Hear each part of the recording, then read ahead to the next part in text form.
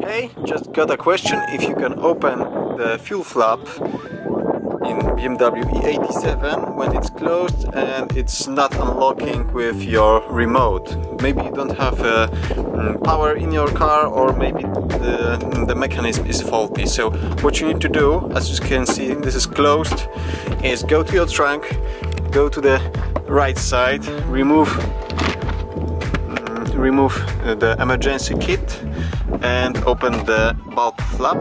And what you are looking for is this green little wire over here.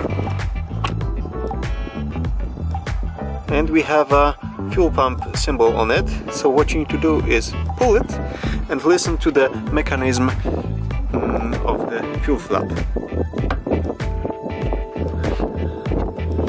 And it's open. And that's it Give me thumbs up if this helped you. Check my other tutorials about BMW and other brands. Subscribe if you are interested in those kind of tutorials and see you soon.